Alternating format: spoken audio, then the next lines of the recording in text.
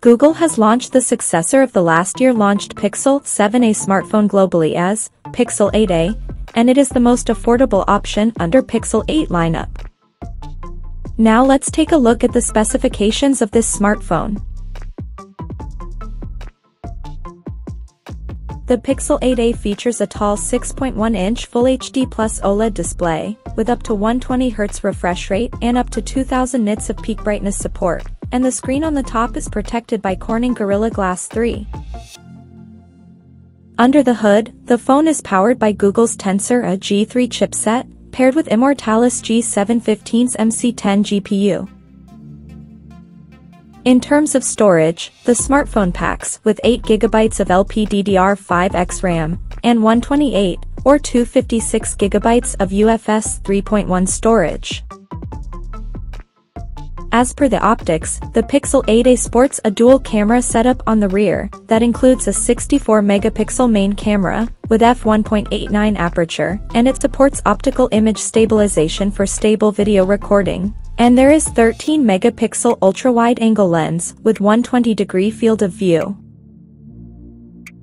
The rear cameras of the phone is capable of shooting 4K videos at 60 frames per second. At the front it has 13 megapixel selfie camera under the hole punch at the top center, with f2.2 aperture, and it can record up to 4K videos at 30 frames per second. The device comes equipped by a large 4492 mAh battery, with 18 watts wired fast charging, and 7.5 watts wireless charging support. On the software front, the handset runs on Android 14 out of the box, and the company promises to offer 7 years of software and security updates. Additionally, the smartphone features an in-display fingerprint sensor for authentication, and it is IP67 certified for dust and water resistance.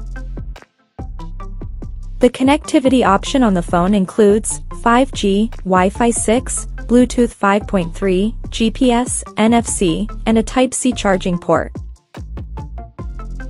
The physical dimensions of this smartphone measures at 152.1 by 72.7 by 8.9 millimeters, and it weighs around 188 grams. So now let's have a look at the pricing details of this smartphone. The Pixel 8a has been priced as follows.